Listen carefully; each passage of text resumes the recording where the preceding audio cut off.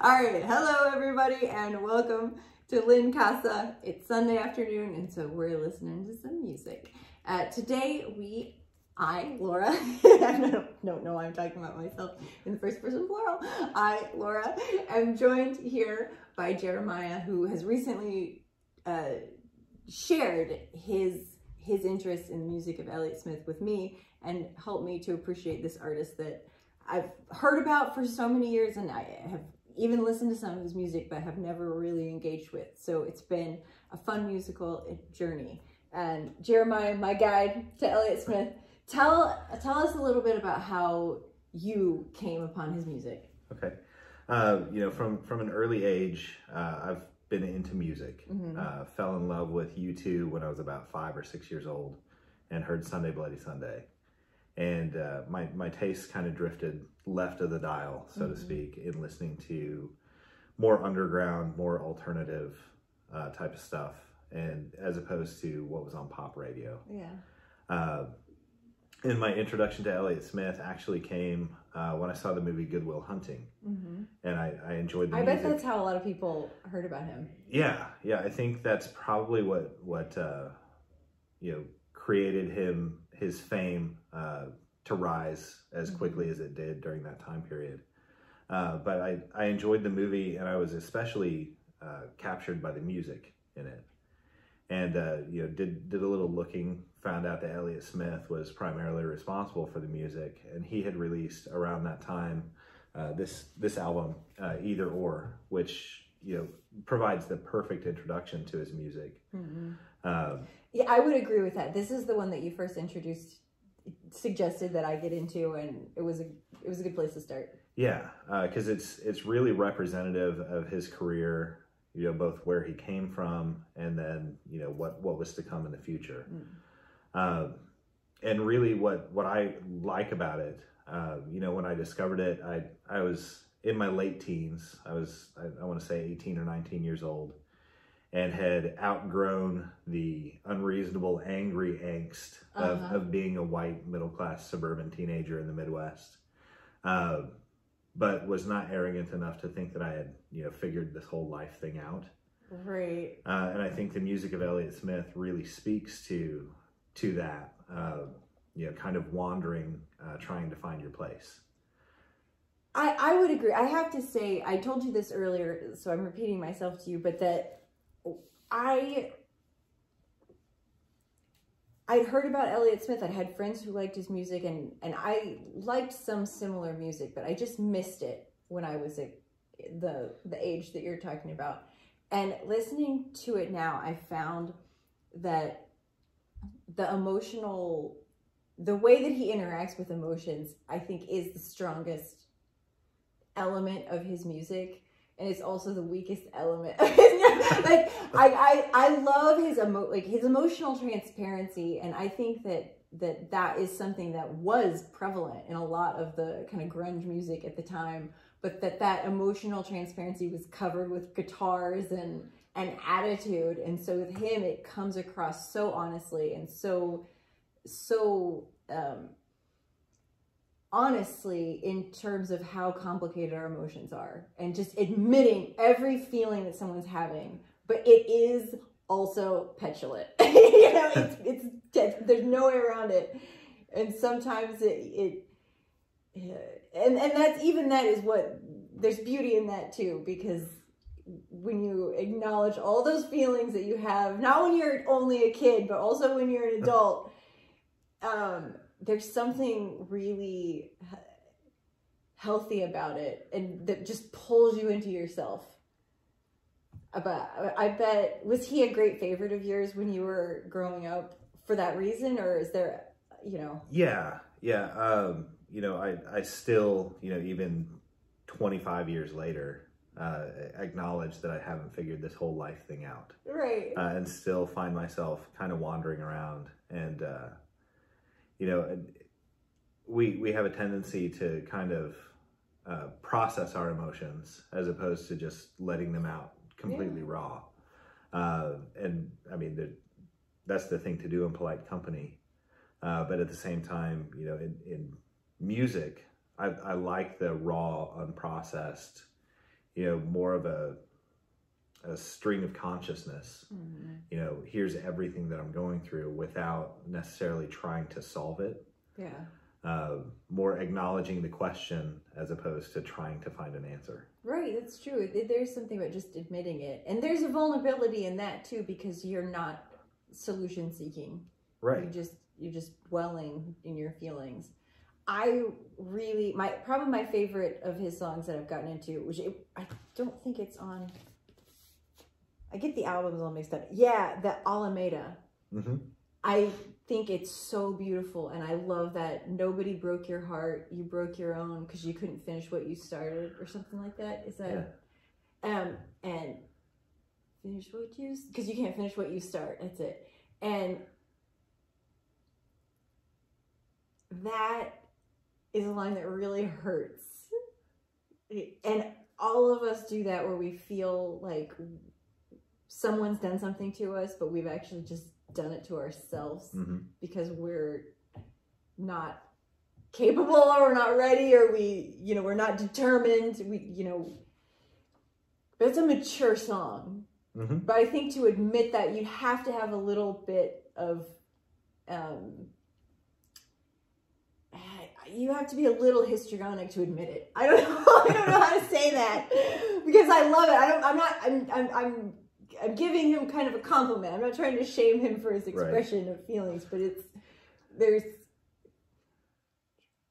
it's a complicated person to be so honest. And I, I like that it makes me have complicated feelings about myself and about his music. It you can dwell in it a little bit. Oh, definitely, definitely. And I think I think that we as people have have a tendency to want uh, closure and want completeness. And I mean the the sad part of it is a lot of times there's not that. Uh, we we don't have a, a resolution. We just simply you know move on. And I think that's one thing that I definitely appreciate about appreciate about his music is that he's he's exploring not necessarily with a destination in mind, but just kind of uh, embracing the exploration of it. Right. What's one one song that you think illustrates that? Because I feel that about his music too. Oh, there there's so many. Uh, you know, I'll, I'll pick one that that we listened to recently and that I listened to on the car on the way here. Uh, but Twilight off of the uh, the posthumous release from Basement on the Hill.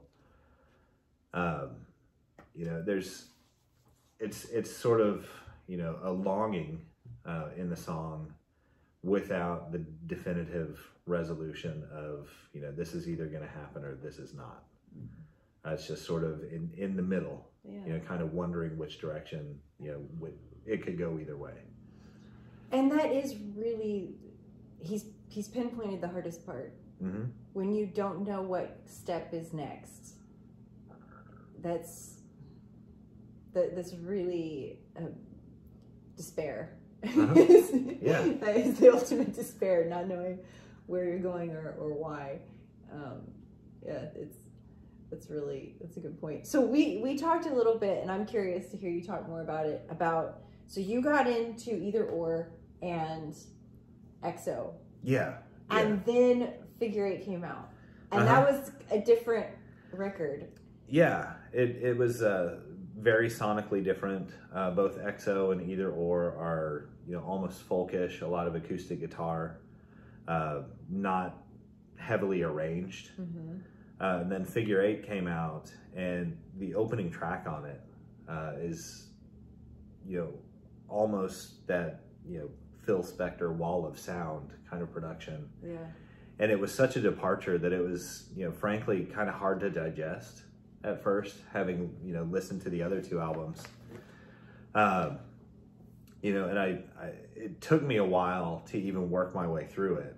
Uh, you know it, it was probably on about the third or fourth listen that i got to i want to say the fourth track um, on it um, you know every everything reminds me of her uh, which had a much m- more familiar feel to it sonically. Uh, you know, lyrically, it's it's still emotionally dense. Uh, you know, still that whole exploration without resolution, uh, and that allowed me to you know get ankle deep in the waters of Figure Eight uh, to the point where I, I've started listening to it more and more, and over time, it's become one of my favorite albums of his. Yeah. So it's really it's grown on you the most. Yeah, um, you know, and it's it, it is a departure, but it's you know sort of sort of like an evolution for him. Uh, you know, the great artists who have you know withstood the test of time, be it you know the Beatles or U2 or you know any other band that's continued to reinvent themselves. Mm-hmm. Uh, this is sort of him stepping out of you know the that acoustic you know singer songwriter folk artist shell mm, yeah and and you know stepping into a, a, new phase of his career i also wonder you know he is coming out of that grunge background and i think him being so different when he came out with his solo music I wonder if there was a little hesitation to take on that bigger sound that was more associated with grunge and, and what was was popular. Yeah, I think uh, you know it, when when I think through you know the music of his career, I feel like you know he started out being really uh, intimate, mm-hmm. Uh, and that you know lends itself well to you know essentially a with his voice being as soft spoken as it is, uh, you know, the, the acoustic guitar and the folky uh, style of music feels much more intimate than it does than the uh, than the big sound of you know heavy drums and a lot of electric guitars and things like that. Um, you know, I I'm gonna I'm gonna complicate that a little bit maybe. So I think that the like when I listened to the first couple, Elliott Smith and Roman Candle, and and also a little bit either or and XO. Yeah, I'll put them in the same category. That I think that a little more what you're calling folky. I'm going to take that too. That sound that it does create a a higher level of intimacy throughout the listening experience. Like it always feels really intimate. But I think that figure eight, and I would say also there's what I don't remember which album has that song Waltz Number Two, but I think oh, that I think song does it too. I think that's actually yeah, on, I XO. on XO. I love yeah. that song, but I think that that song and and, and this album does it too. That they create, they lull you a little bit. Where the music is a little bit happy or almost catchy, and then when it lands a blow, it really hurts. Like waltz to that, you you know you're no good, you're no good, you're no good. That is such a that's a simple set of lyrics, but I think because of the swing of that waltz, that to me just sounds like a smack. like it really, whoo, it's a wallop, and I I I like that. Yeah, but maybe I'm making it up. I don't know. What do you think? No, it's it's definitely there, and uh, we we talked earlier about uh, the song from Figure Eight uh, with uh, "You're Just Somebody That I Used to Know." Yeah. Uh, where it's it's really kind of upbeat, uh, you know, sing-songy music, uh, but you know that that line "You're just somebody that I used to know." It, it's it's especially bitter, you know, underneath the layer of sweetness of the music. Yeah, because it is. It pulls you in, and it it admits that there was sweetness. Yeah because I think that the earlier stuff is a little it's got kind of one emotional note. It's a true one, not all of it, but it's it's a true one and the music is good. Uh, it's very good, but um, by allowing more to show and and using more instruments and bringing in I, I think that he really reveals a growth as a musician and um, yeah, no, I, I, I, like them a lot. I the other thing I've, I've been talking a lot, but I listened to a few of the really early songs that he wrote, like uh-huh. when he was really young. And someone was interviewing him, and they asked him, you know, why don't you think these songs went big or whatever, you know, something like that. And he said, I don't know, probably because they're not very good. And he's so right. And it was well, what killed me is you think about them in context of this is something that some high school kids making. They were uh-huh. great, but in terms of actual songs that you want to listen to, and they sucked. I mean, I, I'm exaggerating, but they, they're not that good. And so I bring that up not to shame him as a, as a child, but to say that I think he really does show a progression Yeah, musically that's that's very that reveals an engaged artist. Yeah, and again that that raw, brutal honesty. Yeah, which That- never kind of never goes away from his music. Yeah, yeah. So, yeah, that's that's a perfect response uh, that that I would expect out of him uh, Yeah. to just admit, yeah, they they weren't that great. they weren't that great and it's the truth you know we um sometimes the truth is the funniest thing for someone to say because Yeah. we don't expect Yeah, just honesty and Uh, it, I mean it's one of the things that we admire about kids, and uh, and you know I I think that you know there are situations where it would be more appropriate as Uh-huh. adults for us to be that raw and brutal. right uh, in, in our honesty, uh, Uh-huh. as opposed to you know dancing around the subject, just trying to be polite. Uh, no it's not I, I have a couple so i teach i teach latin at i teach seminary students Uh-huh. and so i have a couple students who really value honesty and i work with some people who really value honesty but they also really value politeness and i think that they're some of the most engaging people to, to talk to because they're not mean. They don't want to be mean but they want but they want to say things that are true. Because a lot of the people that we associate with saying things that are true are mean. I mean even Elliott smith Right. is a little mean. There, there's something about him that's um, that's cutting. Yeah. and I, which again makes it off-putting, but it also is real. He's not playing some Don Draper anti-hero character. He's just talking about human feelings and the ones that we all have. But anyway, um, so do these really? What do you think your attachment? This might not even be a fair question, but do you think that you have an attachment to them? to these this music because of what it meant to you in those different times of your life or is it a musical relationship or or both maybe that I, I honestly think it's both. Uh, Yeah.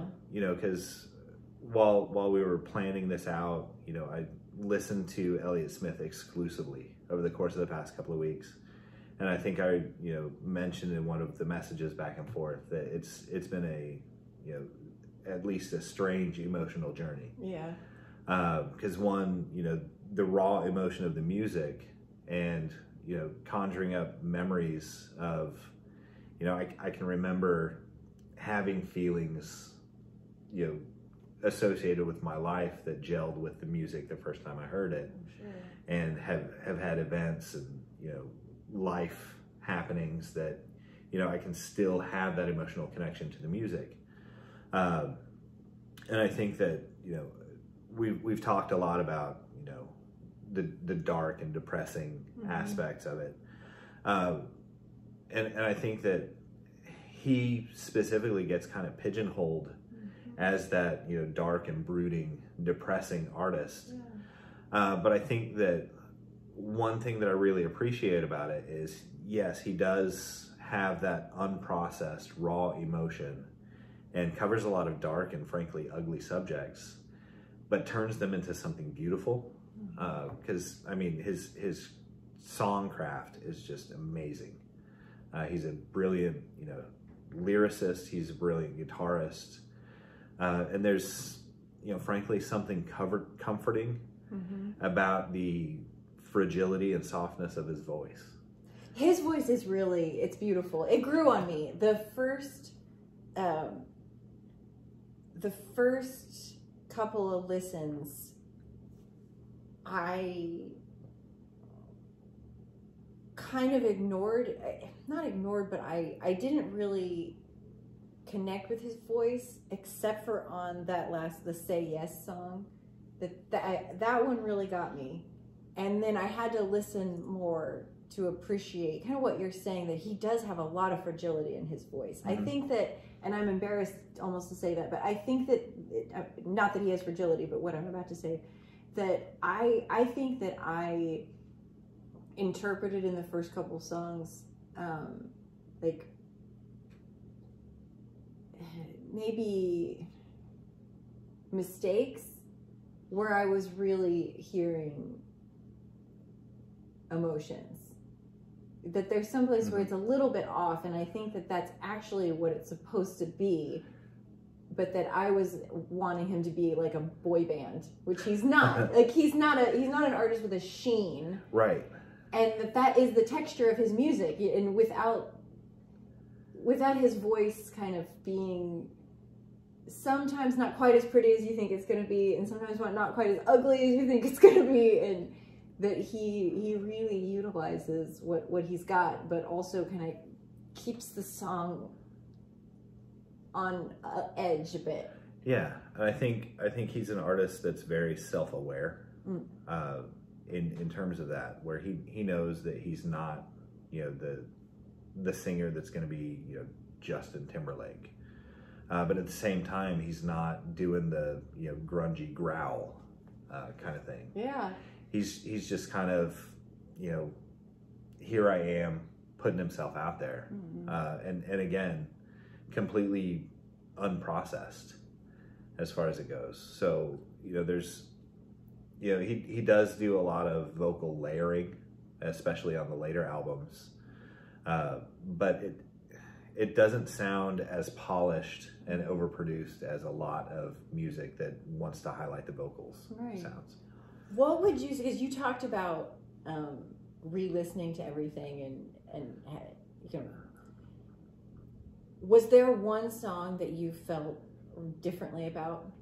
Either you know the music or the you know one song that you're like I used to love this and now I don't, or vice versa, or Well, I mean, there there are several highlights that you know when I listened to them the first time, the way that I connected to them, it's connecting to a different uh, event or or something like that, uh, a different memory. Um, you know, and that's I, I think that's part of why I like his music so much. Is Yeah. it's is it's so complex that you know listening to it you know as a 19 year old and listening to it now as a 45 year old i can still have that connection Mhm. uh, where i mean there's there's a lot of music that i've listened to and i, I still like it but the connection has kind of stayed pretty stagnant right, um, where like i can i can listen to a duran duran album and and i can remember how i felt the first time i listened to it. Yeah, but you know that that state that anchor has stayed there. Uh, that connection has stayed there. It's not as fluid yeah. uh, as as it is with an artist you know, like I gotta Smith. say that with Tori, like I um I loved Tori Amos so much during a few years, like a few specific years that I I I think I don't have anything to say against her as an artist. I think she's very very talented, but her music makes me feel so much like I'm 19 again yeah I think you're right. It's like the anchor is stuck, and I, I can't get away from that feeling for myself. I want to. Maybe one. No, I'm not. I right now I can't. I know that one day, you know, I'll, I'll, I'll, I'll mature. but there's still a part of me that has that that, angsty 19 year old. I'm like, oh no, it's stuck. It's, it's lodged. what has happened to me? I can't. Uh, I can't be myself now when I hear two pianos playing. Uh, yeah But um, anyway, so you recommended me starting with either or, and then you kind of had your own. You had a, a, a system of where how to attack Elliott Smith's Uh-huh. music. Um, do you do you think that he is an artist that someone can start listening to at any time, or is it is it of that era? no i i think it's pretty universally uh, applicable uh, i think that anyone could pick up an elliott smith album and listen to it and you know feel a connection to it uh, you know I, I would not recommend elliott smith for passive listening Yeah. Uh, it's it's not the kind of stuff that I would put on as background noise uh, or anything like that. Especially you know the first time through. Um, you know it's it to to really connect to it requires that active listening, like actually intently listening to it. Yeah, I told you. I listened to a couple of them the first time in my car, and it was not right. Yeah. Yeah, he's, he's definitely sit down and, and listen. Yeah, because I mean it's it's so complex both lyrically and musically uh, that there are you know so many layers upon layers upon layers uh, that really to to take it all in uh, requires some intention behind it. Mm-hmm. Uh, but yeah, absolutely. I think that, uh, it, and I mean, frankly, I think it's universally applicable. I don't think it, it, you have to be a particular type of person uh, to get into the music of Elliott Smith. I think, Yeah. you know, it, it- No, I would say that's fair because I, my I'm going to admit my own uh, bias that because of a few people I knew that liked Elliott Smith, I just thought of his music as being like such a downer. I'm, I'm like, oh gosh, Elliott Smith. It's I, I it's going to be very emotionally weighing, not and not um, refreshing. Mhm. I didn't realize that it had as much catharsis and and so I kind of avoided him for years, and I shouldn't have because that that is kind of pi- pigeonholing him and and thinking no no only kids that like to wear black and paint their nails can listen to Elliott Smith. right, That's unfair. It's unfair. Just, just the kids in dirty t-shirts and, Right. ripped jeans that look down all the time. That is everybody was looking down for like 15 with that hair. Yeah. And well, that's the other thing is that I I would I want to hear what you say about this. To me, Elliott Smith, I would not say that it's emo music, but all the emo music that was around when I was in college makes me think that that, that person liked his music. Is that I, I think that's fair. Uh, you know, I I wouldn't classify him as emo uh, in terms of the musical category, Mhm. but I think that again, the draw of you know the the category that that we now call emo is that you know raw emotional, uh, unprocessed, you know more more seeking Mhm. uh, and you know frankly embracing uh, being lost as opposed to trying to find the answers and trying to find your way out of the maze. Uh, so i think there's definitely that that similarity between you know the emo music uh, versus the music of elliott smith uh, so i think there's definitely you know if, if there's a venn diagram Mhm. between elliott smith fans and emo fans there's a significant overlap Okay. uh, but you know, again, I think that you know his songcraft in general, you know, is is so universally applicable that you know if if we're having a conversation about great musicians and great songwriters, Mhm. Uh, and we're going to mention you know Lennon and McCartney or Bob Dylan, I think that Elliott Smith definitely belongs in that conversation for sure, uh, because you know basically anyone that I've I've ever met that I've introduced to Elliott Smith, they enjoy his music, Yeah. uh, and and for different reasons and different songs and and all that. Uh, but I think that's kind of the the beauty of it, Mhm. Uh, and I think that you know we we were talking earlier uh, that I think that a lot of times when we become fans of music, we try we tend to overanalyze Yeah.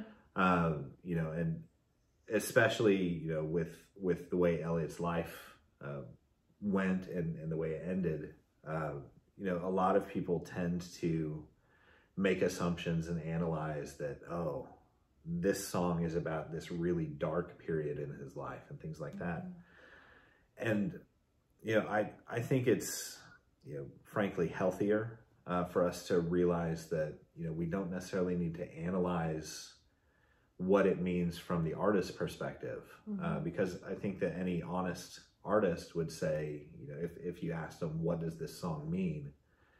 they would say what does it mean to you? Right. because that's that's what it means Yeah, well, and I, I think that there, like, if, if someone writes something and they want the world to know what it's about, that you know, um, I'm sure U2 has done this if Yeah. someone says, I, I, I'm making a statement about this political thing or this, um, this issue that's near and dear to my heart, and that's one thing. And they they um, are making that statement, and they're making a statement with with that emotional, uh, with that communicational um, foundation. But I think if a musician or an artist of any kind wants to make a statement and then walk away, we should let them. Because yeah. just because someone has something interesting to say or beautiful to say or whatever, it really doesn't mean that we have a right to know about their private life or that their private life is interesting or worth it. You know, I mean, right. it's we don't do that to other jobs. Like if I go into a boutique and I'm like, oh my gosh, this place is so well organized. Whoever picked out all these clothes has great style. You know, they really know how to make a display. This atmosphere is so engaging. I don't say, you know, I, I think that they should, they deserve, I, I deserve to know if this person, you know, has been divorced and what she thinks about yeah. and if she's ever had it. You know, it that's so inappropriate. Yeah. And why do we do that to musicians and artists? Like, you, you've told me something, you have to tell me everything. Yeah. Uh, I think that would be an interesting experiment though.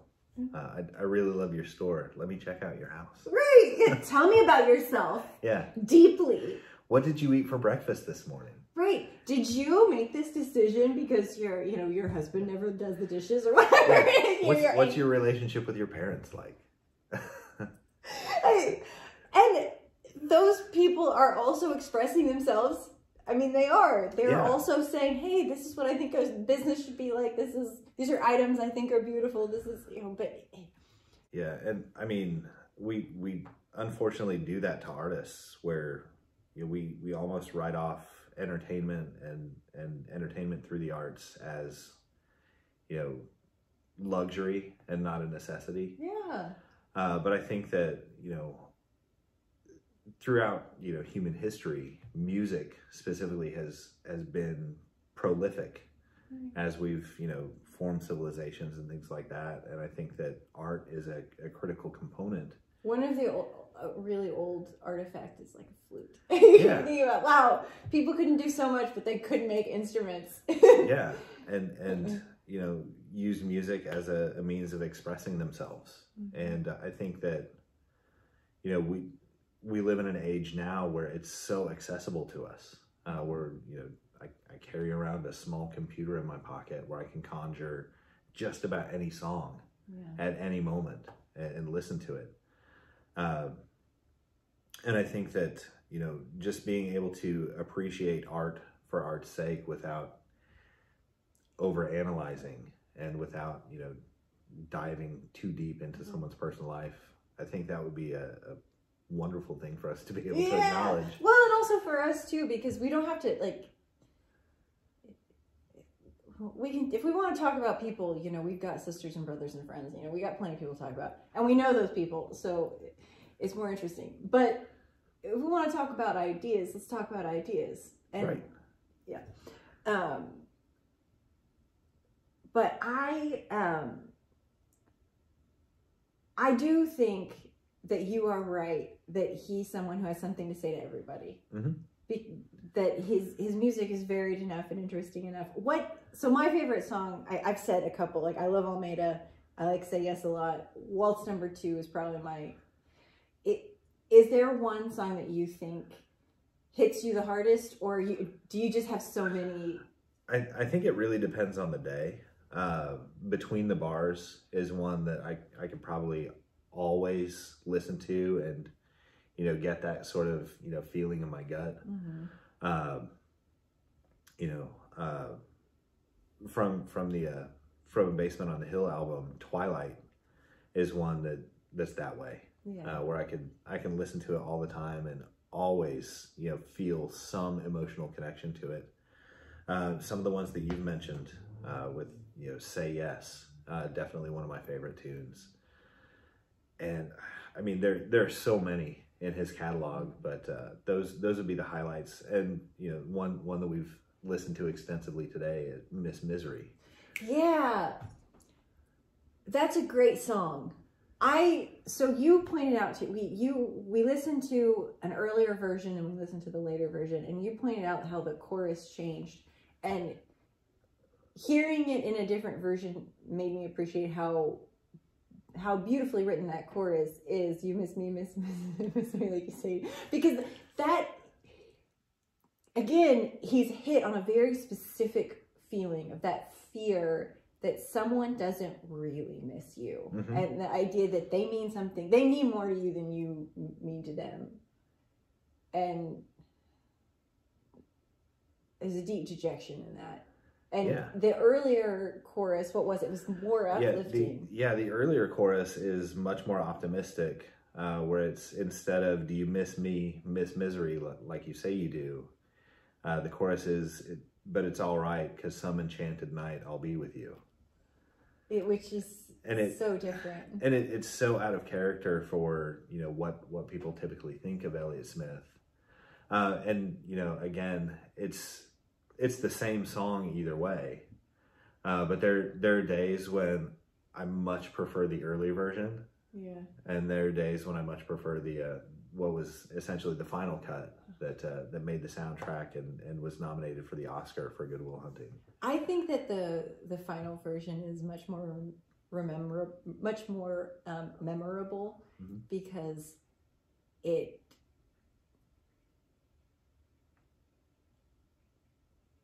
it hits so hard and the music is so pretty Yeah, that it it is kind of a one two punch that it feels like it feels like he's saying what he's saying with absolute clarity.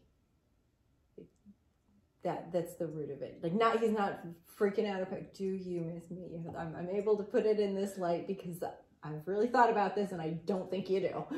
Where the the earlier version i think you're right that it, it's very successful as a song it's very successful as a song and Mhm. it's it's certainly sweeter i might even like it better but i don't think it's m- more memorable Uh, but uh, yeah, I, I would agree with that. I think you know there's there's a reason why uh, the version that's more prevalent is is the one that's more prevalent. Mm. I think there's definite reason why it was the one chosen uh, of the two versions. Uh, but yeah, it's I, I still think you know there's that lesson to be learned that you know both kind of have that same longing. One side of the coin is you know the late version where he's kind of pessimistic about it. Yeah. You know do you really miss me the way you say you do and and the other one is you know i'm still holding out hope Yeah. Maybe maybe for- it's gonna happen for you. And you're Yeah. right. There's even something kind of there's pessimistic, but also a little mean of like, do you miss me the way you say you do? yeah Like, you're is she saying is she lying or is she telling other people like to get sympathy? Like, oh, oh, I miss him so much. right yeah But either way is pessimistic and and um well i mean the opening line of the song either version is i'll fake it through the day with some help from Johnnie Walker red yeah. so you know it, it already starts on kind of a down note but you know the, the early version has that little uplift of you know maybe there's a glimmer of hope Yeah. Even though we're talking about that song and saying you know it's more pessimistic, it, that I don't know that that necessarily has to mean that that's an emotional choice. I think that that could could also just be a musical choice of what what works better in the song and for the Yeah. movie that it was a part of, and you know there's a lot of decisions that that can go into that. Uh, that you're right, they'll fake it through the day. Even just the idea of you're faking it through the day. The, the whiskey makes it, you know, it adds an, an element, but faking it through the day. mm-hmm. Everybody's done it. Nobody wants to do it. Yeah. We all know.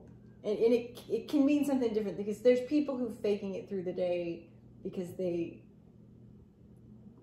have to be happier than they actually are. And then there's people that they just don't want to do it at all, you know right but but we all relate to the feeling, maybe on a different level, but we all relate to it some way or another. Has there been a time in your life when you've stepped away from the music of Elliott Smith? Yeah, um, you know, he's he's always going to be a favorite of mine. Uh, but there, you know, I, I think the longest that I've been without listening to him, you know, on a heavy rotation basis, it, there have been a couple of years uh, between me, you know, really being involved. Okay, uh, so sometimes you do step away. Yeah, yeah, and that, I mean, I, I I tend to, you know, immerse myself in whatever you know mood I'm in at the time. So Mhm. there'll be a, a, a time that I discover a new artist, you know, kind of like I did with Elliott Smith. You know, when I first came across his music, I picked up the most recent released album, and then I kind of went backwards, Mhm. picking up all of his previous albums, even going back into the you know days of his old band Heatmiser, and checking out their stuff. Uh, you know, I, I do the same thing with other artists today. So, you know, the past two weeks I've been re-immersing myself in Elliott Smith Mhm. just to prepare for this conversation.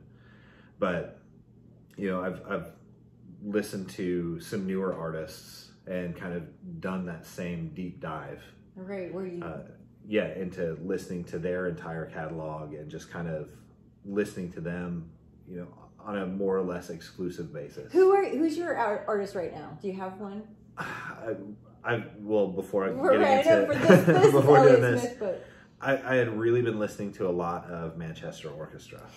right, I love that. I only see we can compare how we listen. I'm a slow listener too, and I have gotten into that Million Masks of God oh, album. Yeah, I love it, but I'm just not ready to move on. I said the same thing to Riley, that Bonny Light Horseman. I love that first album, and I'm just not ready to take on the second one yet. but I- I've heard that that, uh, they have other albums that are really good too. yeah, uh, and I, I can't recall the name of the album, but uh, the song that drew me into it is called "The Silence," uh, and it's if if you need to move on from the Million Masks of God, Yeah, that's your gateway. that's the way to do it. Okay, Uh, I'll search it out. I just, God, I love that album. And that's one, Brian just started listening to it. He's been into him, he's listened to him for a long time, but I've never, like, it's been something he listens to kind of on his own. I don't know why, but just has worked out that way. But that album, he just got into all of a sudden, and it was on repeat. And I would, it was one that I would hear it and I'd like walk into the next room, be like, okay, all right. And I, I it's so it's so good. It's big yeah, and it's anthemic.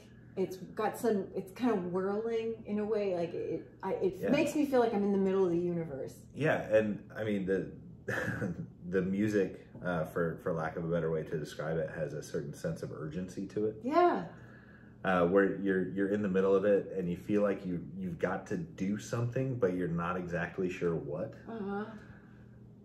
Wow, it's it, it's a very consuming album. It's very consuming. I I I really think they they hit it out of the park with that one. But okay, so that's something you're listening to now. So Elliott Smith, you you've had a long relationship with him. Oh yeah, Are there other artists that you have stayed with for so many years? yeah. Um, I mean, U two is one of those where they they were sort of my That's my your first- five, right? Yeah, my, my first love of music. Uh, so I've I've stuck with them ever since, and you know through all of their various evolutions. You know Mhm. through and they've been through a lot, really. Yeah. Well, I mean, I, they they almost have devised a plan to release albums in trilogies, where you had their first three albums were sort of the, you know, almost new wave punkish, hmm and then you had the the next three albums, the uh, the Unforgettable Fire and the Joshua Tree, and I'll I'll consider Rattle and Hum an album as opposed to a, a concert or Mhm. live album, where they were essentially taking what they had learned and running it through the filter of American roots music, hmm uh, and then you had them depart from that and go into their electronic phase, Yeah, like Achtung, yeah. and you know Zooropa and you know pop and then sort of you know coming back to it with all that you can't leave behind and so on and so forth. Um, and you know like with any change you know kind of like with you know moving on to figure eight with elliott smith it was hard for me to get out of my comfort zone of what was familiar. Hmm but you know like u2's pop album for example when it first came out it was such a departure from even you know what i had been listening to of theirs before hmm that i kind of didn't like it at first but you know gave it some time you know, kind of like a, a swimming pool in the summer. Initially, that that shock of the cold water is awful. was not pleasant. but the more time you spend there, the better it feels. Right. Okay. No, I I get that, and I think that I think it's it's cool for artists to do that because you do it's just throw a bucket of water on you. Yeah, All right. yeah. This this Wash is this is who we are now. Yeah, it's what we're doing now, and, and that's it. That's Yeah. what we're doing. And, and maybe maybe we'll do something different. Maybe this is just the way we're going now. Yeah. Uh, Pearl Jam is another one of those artists that that I've I've been with them since the beginning, and they've you know again evolved over time, and I still enjoy their music. Yeah, you've gone with them. I think probably the artist I've listened to consistently is Andrew Bird. Yeah, I really liked him in college, and then and he's one I keep coming around to. That I really liked him for you know a certain amount of time when I was in college, and then I, when I was in graduate, I really liked him, and then you know maybe three years later, I really got into it. And so sometimes he has albums that miss me, or I miss them, and then I'll you know I come back come back around to it, and I like. It's a comforting thing to say, oh, I wonder what this person's gonna do next. Stromae is another one. Like, I wonder what's gonna come out next. I, I can't I can't wait. yeah, Uh, so it's good to you know, yeah. Pearl Jam is that they're a band that would be fun to go along with. U two, of course, is so big, hmm but they, I think they've handled that level of fame. yeah. I think that you know they've they've got the appropriate balance of you know bombast. Uh, to, to be able to to accept the level of fame and and not just accept it but embrace it Mhm. um, you know and and on the flip side of that there are so many artists that are kind of thrust onto that big stage and and don't handle it well I wonder if because some of the like some of I can so some of the artists that I really like that have done well over years together, U2, Radiohead. Mhm. Bri- if Brian were here, he'd throw in Coldplay. Um, and I, li- I actually I like some of their music too. And um, I'm trying to think of another example, but they're bands, and so they've had each other. Mhm. And I wonder if that just makes it a little bit easier to have a group of people where, as opposed to being just one, you know.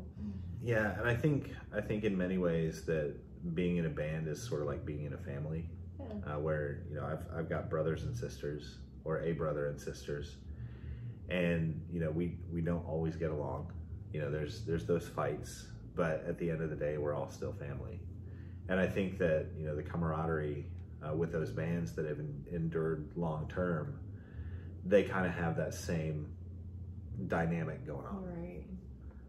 Yeah. Uh, yeah, I think you're right, and it, because there's something stabilizing about that, because it's not just you. You're you've got people that you're around because you like them, and you know it's an easy relationship. But if you also have some people that you just know are there, that you can kind of count on as a family, um, then I think it allows you to be yourself because you trust that the relationship can grow and change even if it's uncomfortable. Yeah. In, in, in parts. But so do you have any kind of final thoughts and feelings on elliott smith? Something that you think people need to appreciate in order to really dive into his music? Yeah, I think just approaching it from the standpoint that you know there's there's a lot of uncomfortable emotion in it, mm-hmm. but it's 100% relatable. Uh, and I think I think that, like I said earlier, anyone uh, can you know reach out and listen to Elliott Smith and have some sort of connection. And what I truly appreciate the most about him is, you know, he does have that completely raw, unfiltered, unprocessed emotion, and then wraps it in this layer of absolutely beautiful music. Uh, so it's you know it's it's a tough pill to swallow, but it's got that nice you know coating uh, to help it go down. Yes, I, I like that that's a good metaphor it's something that you're yeah All right. Well, thank you for being my my Elliott Smith guide. I do. I think there's some music I'll come back to and some that I won't, but I have definitely enjoyed diving in uh, to to his music and letting it be my music for three weeks. Because I've kind of done the same thing where I've said, all right, we're just listening to Elliott Smith these three weeks, and um, normally I've, I've got a few things I'm listening to, so giving someone so much space was a, a really I wouldn't say fun is the right word for him, but it was a really um, it was invigorating in a way. Yeah. It was invigorating because he, he there's that that sense of just falling into someone's thoughts and feelings and letting them take up some space in your own brain that Yeah. uh, helps you get back to yourself and I don't know. I, I- I enjoyed it. Um, well, once again, thank you so much for coming to talk about Elliott Smith. This has been um, a really a really fun musical journey, and we'll let you have the last word. Is there the last thing that you think that you have taken away from your three weeks with Elliott Smith? well, I, you know, like I said before, it's it's been an interesting emotional journey. Uh, you know, from from listening to songs that I had first heard when I was, you know, in my late teens, and being able to re-relate to them. You know, now that I've, you know, uh, by all legal definition, an adult. Great, De- definitely, definitely. yeah. Um, you know, being able to relate to them, you know, in a similar way, but with a, a different connection, Mhm. uh, as opposed to, you know, like, like stuff that's kind of anchored in, you know, the first time that I listened to it, the first connection that I had. Uh, you know, my, my relationship with the music of Elliott Smith has evolved over time.